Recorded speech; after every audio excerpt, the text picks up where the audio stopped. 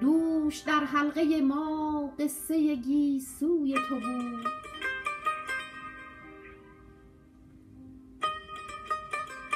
تا دل شب سخن از سلسله موی تو بود.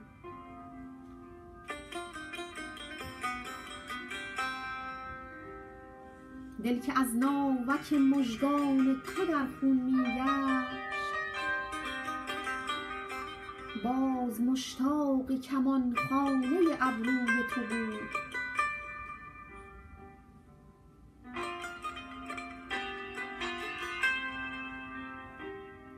هم عفا الله صبا کز تو پیامی می داد ور نه در کس نرسیدیم که از کوی تو بود.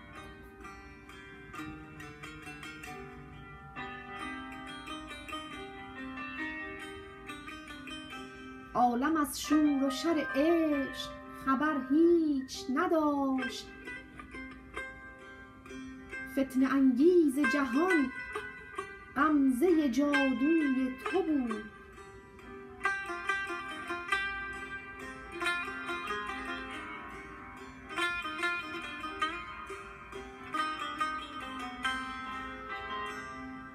من سرگشته هم از اهل سلامت بودم. دام راهم شکن طره هندوی تو بود.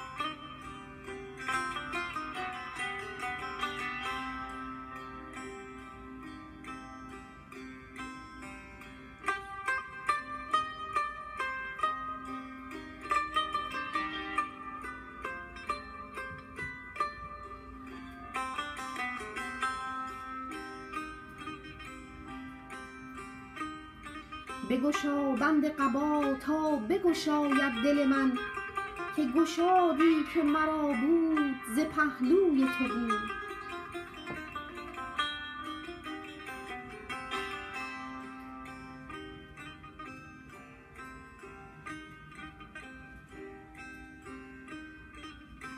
به وفای تو که بر تربت حافظ بگذر کز جهان می شد و در آرزوی روی تو بود.